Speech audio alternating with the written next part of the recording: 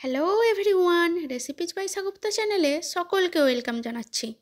আজ আপনাদের জন্য আমার আজকের আয়োজনে রয়েছে দারুণ মজাদার সিঙ্গারার রেসিপি আর এই সিঙ্গারাটার টেস্ট হবে একদম মিষ্টির দোকানের মতো, বরং আমি তো বলব মিষ্টির দোকানের থেকেও বেশি টেস্টি হয় এই সিঙ্গারাটা খেতে।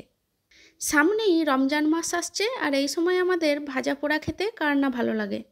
তাই ইফতারিতে আপনারা এভাবে এই রকম মুচমুচে সিঙ্গারা বাড়িতেই তৈরি করে ফেলতে পারবেন।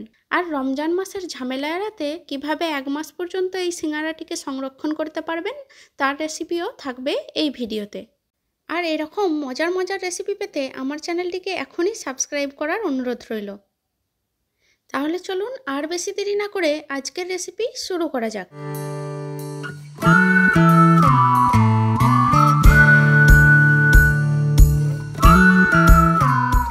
সিঙ্গারা বানানোর জন্য প্রথমেই প্রেসার কুকারের মধ্যে নিয়ে নিচ্ছি বেশ কিছু ভিজিয়ে রাখা মটর। আর দিয়ে দিচ্ছি দুটো মিডিয়াম সাইজের টুকরো করে কেটে নেওয়া আলু। এখন এর মধ্যে অ্যাড করে দিচ্ছি একটা গাজর, আমি এভাবে কুচি করে কেটে নিয়েছি। এখন এই সবগুলো উপকরণকে একটু সেদ্ধ করে নিতে হবে। তাহলে চলুন এগুলো সেদ্ধ হতে বসিয়ে দিই। আলু মটর সেদ্ধ হতে হতে চলুন আমরা সিঙ্গারার জন্য ময়দাটা মেখে নিই। প্রথমেই পাত্রের মধ্যে নিয়ে নিচ্ছি দুই কাপ পরিমাণ ময়দা। দুই কাপ ময়দা দিয়ে এর মধ্যে দিয়ে দিচ্ছি হাফ টিস্পুন পরিমাণ লবণ। আর দিয়ে দিচ্ছি এক টিস্পুন পরিমাণ চিনি। চিনি দিলে এই সিঙ্গারার স্বাদটা অনেক ভালো আসে। এখন হাত দিয়ে একটু মিশিয়ে নিয়ে অ্যাড করে দিচ্ছি প্রায় ওয়ান ফোর্থ কাপ পরিমাণ তেল। এবার তেল দিয়ে ময়দাটাকে হাত দিয়ে খুব ভালোভাবে বেশ কিছুক্ষণ ধরে মেশাতে হবে। এটা যত ভালোভাবে মেশানো হবে, সিঙ্গারাটা কিন্তু ততই খাসতে হবে। এভাবে দেখুন, খুব ভালোভাবে মেশানো হয়ে গেছে। এখন দেখুন, হাত দিয়ে এটাকে মুঠো করলে কিন্তু ময়দাটা এরকম দলা পেকে যাচ্ছে। মানে এটা একদম পারফেক্ট তৈরি হয়ে গেছে। ময়দাটা আমার একদম এরকমই চাই। এখন আমি এক নর্মাল পানি নিয়ে অল্প অল্প করে মেশাতে থাকব। আর একটা ডো তৈরি করব। একদম এটা কিন্তু সফট ডো তৈরি হবে না, একটু শক্ত ডো তৈরি হবে। দেখতেই পাচ্ছেন এরকম একটা অমসৃণ ডো তৈরি করতে হবে।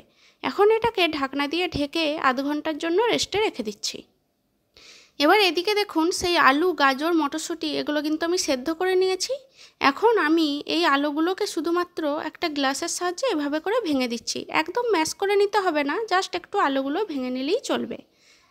এখন পুর বানানোর জন্য কড়াইয়ের মধ্যে দিয়ে দিচ্ছি এক টেবিল চামচ পরিমাণ তেল। এবার তেল গরম হলে এই তেলের মধ্যে বেশ কিছু বাদাম আমি আগে ভেজে নিচ্ছি। এই যে দেখুন, বাদামটা খুব বেশি কড়া করে ভাজতে হবে না, হালকা করে ভেজে তুলে নিলেই চলবে। এখন ওই তেলের মধ্যে এক টিস্পুন পরিমাণ গোটা ধনে ফোড়ন দিয়ে দিচ্ছি। এবার একটু আদা কুচি, এক টিস্পুন পরিমাণ আদা কুচি দিয়ে দিলাম।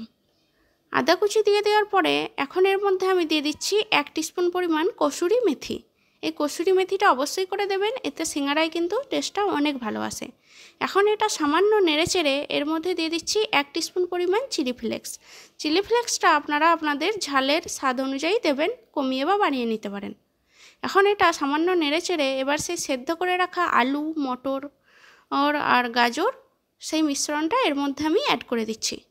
এবার এই মিশ্রণটাকে সব কিছু খুব ভালোভাবে নেড়ে চেড়ে একটু মিশিয়ে নিতে হবে। এখন এর মধ্যে দিয়ে দিচ্ছি এক স্পুন পরিমাণ লবণ বা স্বাদ মতো লবণ। এখন একটা কাঁচা লঙ্কা কুচি দিয়ে দিচ্ছি ফ্লেভারের জন্য। আর দিয়ে দিচ্ছি এক স্পুন পরিমাণ হলুদ গুঁড়ো। এক স্পুন পরিমাণ জিরে গুঁড়ো দিয়ে দিলাম। আর এক স্পুন পরিমাণ ধনে গুঁড়ো দিয়ে দিচ্ছি। এখন এই সব কিছু মশলা আলুর সঙ্গে খুব ভালোভাবে মিশিয়ে বেশ কিছুক্ষণ ধরে নেড়ে চেড়ে এটাকে ভেজে নিতে হবে। এটা যতটা ভালোভাবে আলুর সঙ্গে মেশানো যাবে, এই মশলার স্বাদটা কিন্তু ততটাই ভালো আসবে। এভাবে নেড়ে চেড়ে আমি কিন্তু প্রায় দু মিনিটের মতো এটাকে ভাজতে থাকব আর ভাজতে ভাজতে আলুগুলোকেও এভাবে লাগড়ির সাহায্যে একটু করে ভেঙে দিচ্ছি। এখন আমি এর মধ্যে সেই ভেজে রাখা বাদামটা অ্যাড করে আবারও দু মিনিটের মতো একটু নেড়ে চেড়ে মিশিয়ে নিচ্ছি এবং সব শেষে একটু ধনে পাতা কুচি ছড়িয়ে তারপর মশলাটাকে আমি নামিয়ে দিচ্ছি। এটা একদম ঠান্ডা হয়ে যাওয়া পর্যন্ত এখন অপেক্ষা করব। এখন মশলাটা ঠান্ডা হয়ে গেছে, এখন আমি সেই ময়দাটা থেকে ছোট ছোট লেচি কেটে নিয়েছি। এখন এটাকে আমি বেলে নিচ্ছি, তবে এটা কিন্তু লুচির মতো গোল করে বেলতে হবে না, একটু লম্বাটে ধরনের বেলে নিতে হবে। এই যে দেখুন, আমি যেভাবে বেলেছি ঠিক সেইভাবে। এখন এটাকে একটা ছুরির সাহায্যে সমান দুই ভাগে ভাগ করে নিতে হবে। তারপরে দেখুন, আমি কীভাবে সিঙ্গারার শেপ দিচ্ছি, সেম এইভাবে এটাকে মুড়ে নি, মুড়ে নিতে হবে। দুই সাইডটা জয়েন্ট করে এভাবে একটু টুপির মতো করে নিতে হবে। তারপর এর মধ্যে পুরটা দিয়ে চারি পাশটাতে একটু পানি লাগিয়ে নিতে হবে যাতে এটা খুব ভালোভাবে সিল হয়ে যায়। এবার দেখুন এইভাবে করে এটা একদিকটা টেনে নিয়ে মুড়ে তারপর অপর পাশটাও টেনে এভাবে জয়েন্ট করে দিতে হবে। এই যে দেখুন, তৈরি হয়ে গেল আমার একটা সিঙ্গারা। আমি আপনাদের সুবিধার জন্য আবারও একটা দেখিয়ে দিচ্ছি। এই যে দেখুন, এইভাবে করে আমি সমস্ত সিঙ্গারাগুলোকে মুড়ে নিচ্ছি।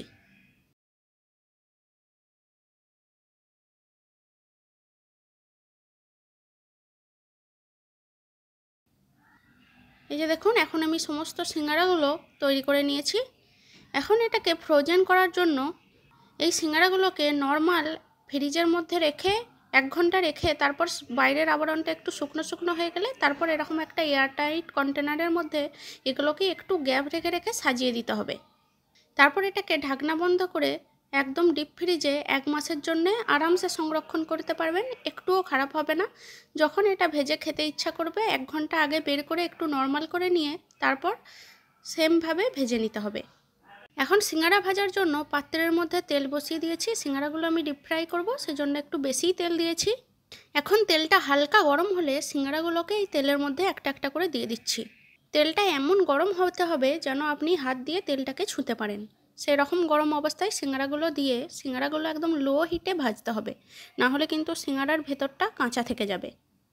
এভাবে করে সিঙ্গারাগুলো এক পিস, সিঙ্গারাগুলোর এক পাশ একটু লাল হয়ে এলে উল্টে দিতে হবে। এভাবে করে সমস্ত সিঙ্গারাটাই উল্টে পাল্টে একদম যখন সোনালি কালার হয়ে আসবে, তখন সিঙ্গারাগুলোকে ভেজে তুলে নিতে হবে।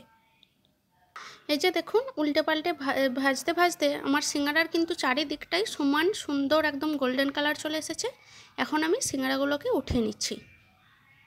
ব্যাস, আমার সব সিঙ্গারাগুলো এভাবে করে তৈরি করে নিচ্ছি। দেখলেন তো, কত সহজে বাড়িতেই তৈরি হয়ে গেল সিঙ্গারা। আর এই বাড়িতে বানানো সিঙ্গারাটা অনেক দিয়েও হয়। বাজারের তেলটা বারবার পুড়তে থাকে, তার মধ্যেই তারা সিঙ্গারাগুলো ভাজে। তবে বাড়িতে বানালে এটা অনেক বেশি হেলদি হবে, তার সাথে সাথে টেস্টিও হবে।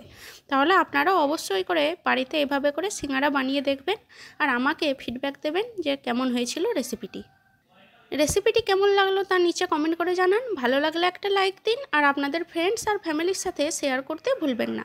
আর আমার চ্যানেলে নতুন হয়ে থাকলে অবশ্যই চ্যানেলটিকে সাবস্ক্রাইব করে পাশে থাকা বেল বাটনে প্রেস করে রাখুন, যাতে আমার সমস্ত নতুন ভিডিওর আপডেট সবার আগে আপনাদের কাছে পৌঁছে যায়। তাহলে আজকে এখানেই বিদায় নিচ্ছি, আবারও দেখা হবে নতুন কোনো রেসিপির সাথে। সেই পর্যন্ত সবাই ভালো থাকবেন। বাই